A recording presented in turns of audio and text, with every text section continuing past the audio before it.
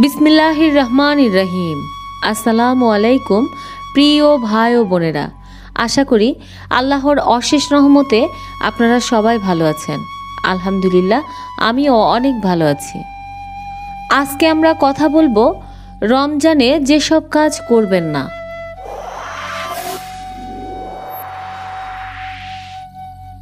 রমজান বছরের শ্রেষ্ঠ মাস। এই মাস মুসলিম উম্মার প্রতি আল্লাহর বিশেষ নিয়ামত ও অনুকম্পা।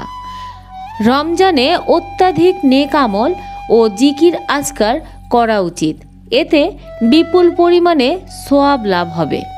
তবে রমজান মাসের ফজিলত হাসিল করার জন্য এমন কিছু কাজ রয়েছে যা থেকে বিরত থাকা দরকার।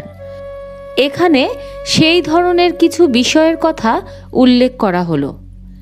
এক, বিলম্বে ইফতার করা। আল্লাহর রসুল সাল্লাহ আলাইসাল্লাম দেরিতে ইফতার করতে নিষেধ করেছেন।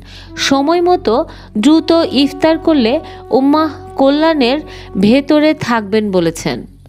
দুই, সাহারি না খাওয়া। সাহারি অনেক বরকতময় খাবার। রসুল সাল্লাহ আলাইসাল্লাম সাহারি খেতে উদ্বুদ্ধ করতেন।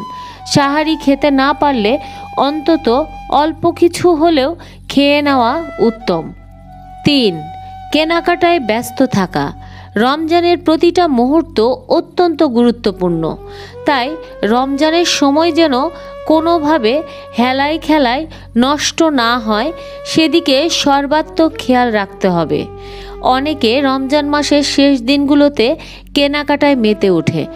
অথচ এমন না করা উচিত। বরং শেষ মুহূর্তের আমলে মগ্ন থাকা চাই চার, মিথ্যা বলা ও অন্যান্য পাপ কাজ করা। সত্য মুক্তি দেয় এবং মিথ্যা ধ্বংস ডেকে আনে। জীবনের প্রতিটি ক্ষেত্রে সত্যকে প্রতিষ্ঠিত করা মুসলমানদের কর্তব্য।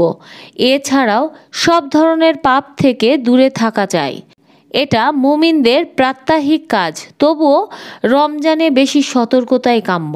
পাঁচ, অপচয় ও অপব্যয় করা। অপচয় কিংবা অপব্যয় করা খুবই বাজে অভ্যাস। পবিত্র কোরআনে অপচয়কারীকে শয়তানের ভাই বলা হয়েছে। ছয়, হক আদায় না করে কোরআন খতম করা। কোরআন তেলোয়াতের অনেক গুরুত্ব ও ফজিলত রয়েছে। পবিত্র কোরআনুল করিমে অর্থসহ বুঝে বুঝে খতম করা ও কিংবা তেলোয়াত করা উত্তম। সাত, জামাতের ফরজ আদায়ে অলসতা। রমজান মাসে রোজাদাররা সব কাজকর্ম স্থগিত রেখে দূর দূরান্ত থেকে নামাজের সময় মসজিদের অভিমুখে যাত্রা করেন। দৈনিক পাঁচ অক্ত নামাজ মসজিদে সমবেত হয়ে জামাতে আদায় করা উচিত। আট, বেশি বেশি খাওয়া। সাহারি ও ইফতারে কিছুই এমন খাবার খাওয়া উচিত নয় যা পরবর্তী সময় স্বাস্থ্যে বিরূপ প্রভাব ফেলে। আবার এতে অল্প আহারও করবে না, যে রোজা রাখতে অসুবিধা হয়। নয়, লোক দেখানো ইবাদত। লোক দেখানো কাজ ও আমল সম্পূর্ণই হারাম। দশ, বেশি বেশি ঘুমানো। অনেকের ধারণা যত বেশি ঘুম, তত বেশি শরীর ভালো থাকবে। অথচ একজন সুস্থ ও প্রাপ্ত বয়স্ক মানুষের জন্য প্রতিদিন সাত ঘণ্টা ঘুমই যথেষ্ট। এর চেয়ে বেশি সময় ঘুমালে আপনার নানা রকম সমস্যা দেখা দিতে পারে। এগারো, পণ্যের দাম বাড়াতে সংকট তৈরি করা। ভোক্তাদের জিম্মি করা জায়েজ নেই। কেউ তা করে বিত্তশালী হয়ে গেলেও কোনো লাভ নেই। তার অবৈধ সম্পদ জাহান নামে যাওয়ার কারণ হবে। বারো। অশ্লীল ছবি নাটক ইত্যাদি দেখা। বর্তমানে সব রকম নাটকের পূর্ণতা নারীদের ছাড়া হয় না।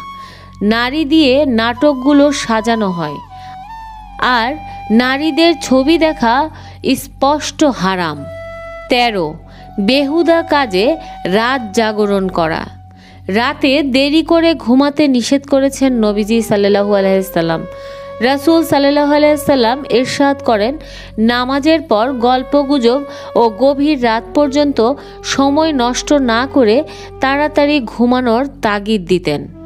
তবে গুরুত্বপূর্ণ ও কল্যাণজনক কাজে রাতে জাগতে নিরুৎসাহিত করা হয়নি। চোদ্দ যাতা কাজে মগ্ন থাকা। ইবাদতের মাস রমজানে বেশি বেশি আমলের কথা বলা হয়েছে। কিন্তু আমরা অনেকে ব্যস্ত থাকি আজে বাজে কাজ নিয়ে। এটা কাম্য নয়। পনেরো, বিদাত করা। ইসলামের পরিভাষায় বিদাত বলা হয় দিনের মধ্যে এমন বিষয় সৃষ্টি করা যা রাসূল সাল্লাহু আলাইসাল্লাম ও সাহাবায়ে কেরামের যুগে ছিল না এবং পরে তা উদ্ভাবন করা হয়। বিদাতের বিরুদ্ধে মহানবী হজরত মোহাম্মদ সাল্লাহ আলাইসাল্লাম অত্যন্ত কঠিন হুঁশিয়ারি উচ্চারণ করেছেন।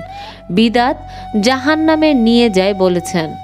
তাছাড়া কেয়ামতের দিন বিদাতকারী চরমভাবে লাঞ্ছিত হবে। তাই সব সময় বিদাত থেকে দূরে থাকুন। আমাদের ভিডিওগুলো ভালো লেগে থাকলে অবশ্যই অবশ্যই লাইক সাবস্ক্রাইব করে আমাদের সাথেই থাকবেন। পাশে থাকা বেল বাটনটি অন করে রাখবেন যেন নোটিফিকেশন পাওয়া মাত্রই ভিডিওটি দেখতে পারেন। পরবর্তী ভিডিও দেখার আমন্ত্রণ জানিয়ে আজকের মতো এখানেই বিদায় নিচ্ছি। ভালো থাকবেন, সুস্থ থাকবেন, এই প্রত্যাশায় আল্লাহ হাফেজ।